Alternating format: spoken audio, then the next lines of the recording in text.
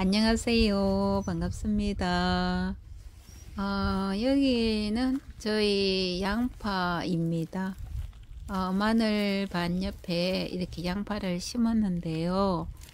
어, 예년에 비해 가지고 올해는 양파를 좀 많이 심었어요.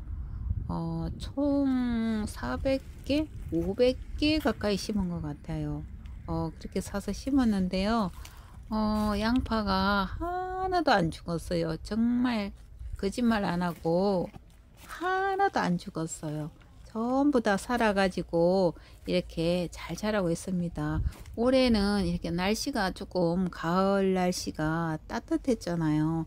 그러다 보니까 양파가 이렇게 막 봄에 양파가 자라듯이 이렇게 쑥쑥 잘 자라는 것 같아요. 너무 많이 자랐어요, 진짜.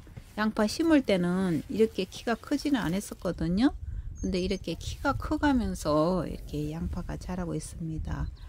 어, 원래 제가 모종을 심으면은 꼭 이렇게 죽은 그런 모종들이 있는데 이상하게 저희 남편이 심으면은 이런 모종이 하나도 안 죽고 다 잘 살더라고요. 그래서 항상 모종 심는 거는 주로 남편이 많이 심기는 해요. 어, 시간이 이제 될 때는 심어주는데 또 시간이 안 될 때는 제가 심거든요. 근데 이렇게 비교해 보면은 꼭 차이가 나더라고요. 양파도 남편이 심었는데요. 하나도 안 죽고 이렇게 잘 살았답니다. 양파가 이렇게 너무 예쁘게 잘 자라고 있어 가지고 어, 영상에 담아 봤습니다. 감사합니다.